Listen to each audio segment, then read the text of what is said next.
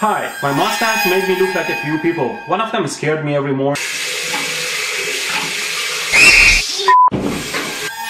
The funny thing is that we Iranians fought this guy for eight and a half years and now I'm him. the second guy that I look like is actually okay. I want to break free!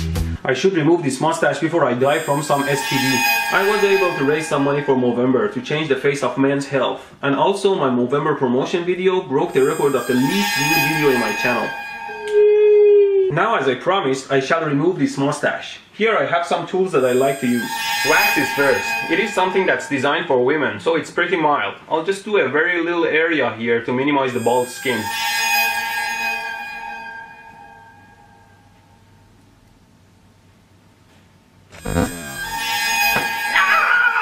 Look at this, there is blood coming out of every hair hole. Why would anyone use this piece of there is this other technique called electrolysis hair removal, which is again mostly used by women, and some electricity passes through the hair and it falls out. I assume they use something like a taser that zaps the hair dead, and for that purpose I'm gonna use my homemade taser. Okay, let's try it out.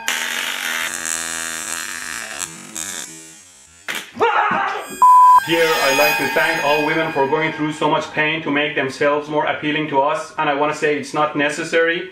Some of us may like you for your looks, but at the end of the day, it's your health and attitude that makes us love you, and it's much less painful to obtain. Even if you can grow a mustache like me, I'm sure there was an era that you would rule, but it's not today. I once saw in an old movie that some bearded guy in an island removed his mustache with a kitchen knife without a soap, so I was wondering if that's possible. Let's try it out.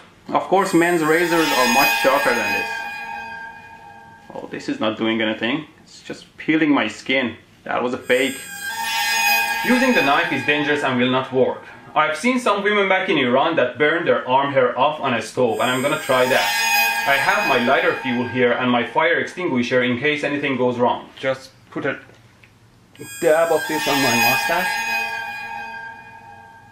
and I'm ready to go.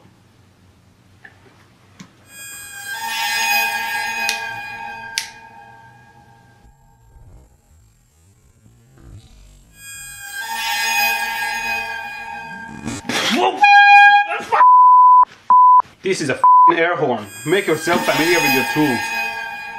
Frankly, my dear, I don't give a damn. Achtung! Halt! Nine! Single play! Back to my less creepy self.